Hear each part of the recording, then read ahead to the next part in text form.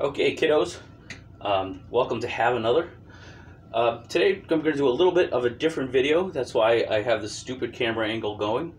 Today, we're going to use the bottling wand.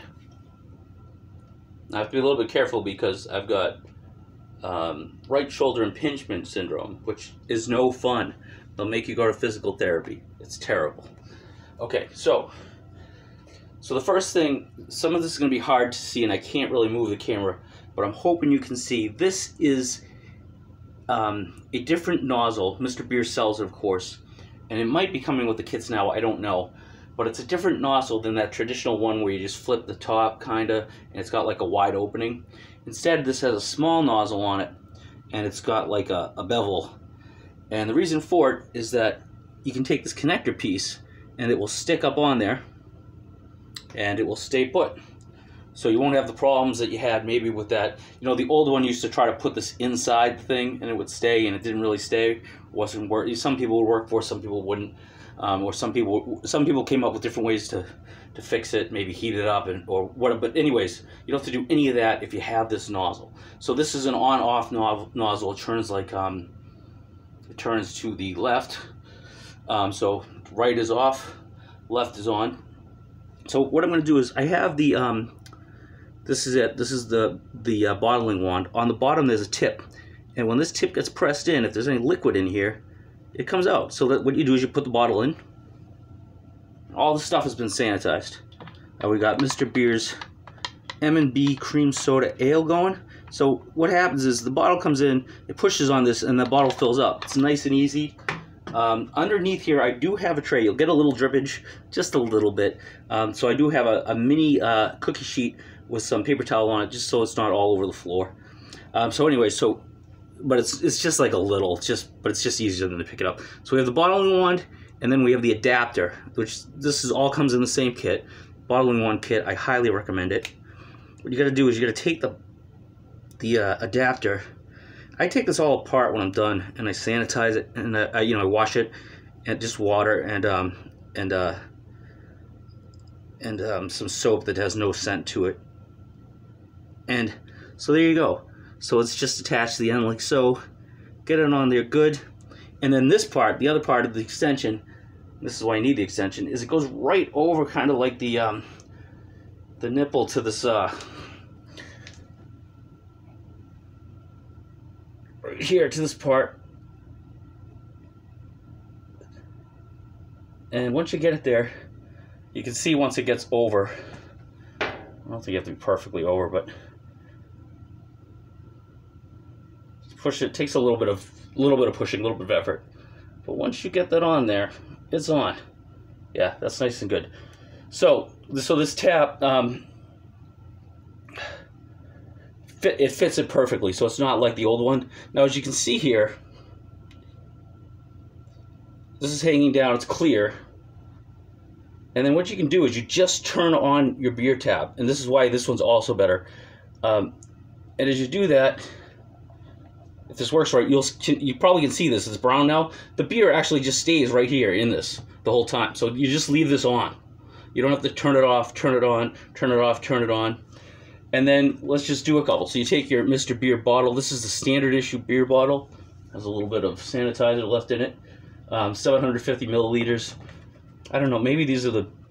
I never know. I have both. I've got like the standard ones, and then I've got like the um, the slightly stronger ones. They both work great. Um, but I got a good deal on these when Mr. Beer Mr. Beer always has you know sales. Hit them up when they get a sale.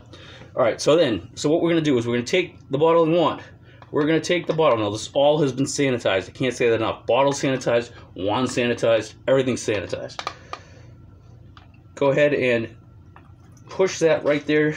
So what I'm doing is that part that I showed you, that like little spring thing, I just push the bottle up against it. And the beer is now flowing freely. It's not quite as fast as if you do it yourself, like by just opening it, but it's a lot more precise. And it's a lot easier. Um, I'm going to do 10 or 11 of these. Um, and it just makes your life really easy. You are going to get a little bit of drips when you pour it over because you know like this is in the bottle so there's some beer on the the wand it'll drip down so just put something i use a small cookie sheet with some paper towel and then you just fill it up as much as you want now the one thing when you fill it up you gotta um, compensate. You like you've got to remember that this is in here, so it raises the level a little bit more. So I'm like right about there. I'm pretty good with that. So I'm going to put this one aside. I'll be putting my sugar in afterwards, and then uh, you know to for the carbonation process. So let's try another one. And this is all you have to do. You just pull this right up. It pushes up against it. Beer starts flowing. This is great. It is so much easier. It's cleaner. It's simpler. Um, and I, I can't recommend it enough. And it's not expensive. You know, you get this this spigot, which is a better spigot anyways. Um, I don't know. They might maybe they're shipping them with them. I don't know. That's some. Hey, if any of the Mr. Beer people are watching, are you shipping now with the spigot, or do you have to order it? If you have to order it, it's only a couple bucks. Not a big deal. I think like this kit's only like ten, um, or maybe less. I don't know. See, and then you really have control over how much perfect. Again, maybe a little more because I was talking, but there you go. So that one's full, and then you just go on to the next one couldn't be easier than this. Here we go. Right back up. And then I just got to put my sugar in there. Um, I do my own sugar. Um, if they send me the carbonation drops, I use them. They work great. Um, but you can save some money just um, using table sugar. So I save some money. Um, it is, uh, for this size, a 750 liter bottle, it's two teaspoons. So I got myself a nice metal teaspoon that I can um, sanitize. I leave it in the sanitization solution for like five minutes, and then I take it out and I let it dry, so the sugar doesn't stick to it. And I have a funnel too that I that I can use to put in. I'll show you that in a second. There we go. I mean, this really, honestly, this is as easy as it gets, folks. Um, we'll do one more. Let's see me do all 10. Probably already done too many. Um, and then so you just you know I'm not even really paying attention. I'm, it, it, it is it's just such a nice even flow that, that you know I can talk to you guys and hang out. And um, yeah, so here we go. It's filling up. No leaks here or anything. As long as you get it nice and cl closed, uh, you know, like I said, you have to give it a little push, but um, nice and easy. There's a slight bit of drippage that gets down there. A very slight. I'm talking about, you know, the the paper towel has it, no problem. I'll show you in a minute. All right, so we got that one. That's good. And this is just so easy.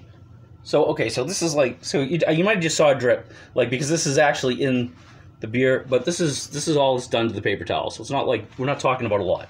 Now, um, get yourself a funnel too. I also, this is how I do my sugar. Um, now, if you're using the carbonation drops, which really is the easiest way and the, the surest way to get a good result, um, you obviously don't need this. Just put two carbonation drops and you're done. But you want to save a little bit of money. Um, then, like I said, whenever I get, whenever I buy a kit or set and it comes with the carbonation drops, I use them and I get great results. But you get the same results with sugar. Regular table sugar. I have this. Uh, this has like a little hook. This is actually so if you're pouring beer into beer or something, it won't foam. Um, that doesn't matter. Just any any funnel that fits nicely is fine. Um, I let it get good and dry two teaspoons for each bottle. Then I, you know, put on the top, and then I kind of go like this. I just turn them over once or twice to mix in the sugar, um, as per the instructions. I don't shake them, and um, I put the bottle caps on them. And in two weeks, I've got a great beer. Um, there will be a taste test video. So until then, cheers.